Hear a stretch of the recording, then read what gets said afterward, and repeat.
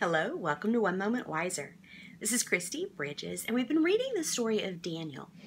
And I just wanted to bring up that Daniel, his name, when he was born, meant God is my judge.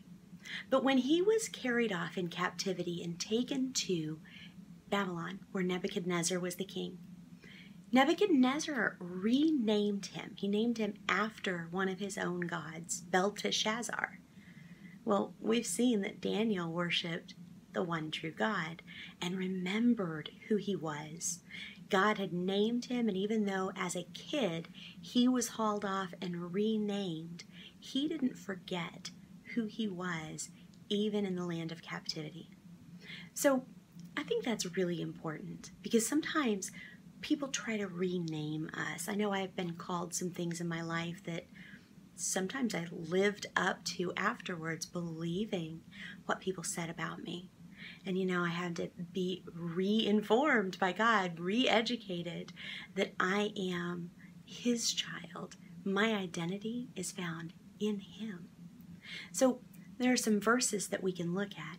Genesis 15 6. Now, this is from the Bible that Daniel read back in Genesis. He didn't know about Jesus yet.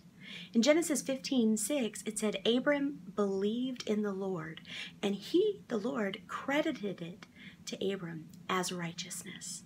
Daniel kept trusting in the Lord, and he followed what God had said to do. In Galatians 3:24, now that Jesus has come, we're told the law, the law that Daniel had to follow, was our guardian until Christ came that we may be justified by our faith, like Abram was. In Romans 5 1, it tells us since we've been justified through faith, we have peace with God through the Lord Jesus Christ. So, whatever you're going through, don't listen to what people call you. Trust in what God has called you. God bless you.